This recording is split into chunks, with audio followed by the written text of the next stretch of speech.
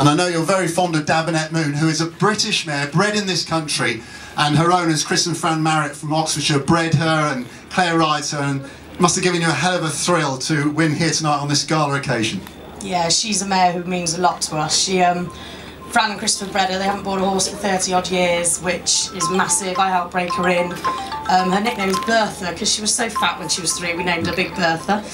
Um, she's not fat anymore, which is great. Um, but yeah, means loads to see her come through the grades this year has been amazing. Okay, well, moving on to your AGA ride, His Excellency. Poignant there because she's trained by Mike Dawson, who was widowed in the last year. Um, it was a great loss that Jill left us, but um, this horse is going on keeping their name, and the horse is trained in Lincolnshire. Tell us a bit about His Excellency. Uh, yeah, His Excellency Shaky, we call him. He's uh, very different to the other horse I ride with them. Uh, very, very keen. Um, hopefully tonight it's the partnership bit I need to keep together. We've only had three races together before. The first twice he ran away with me, and last time he tried to run away with me, but it was all right. So hopefully tonight we're uh, we'll be all right. I hope.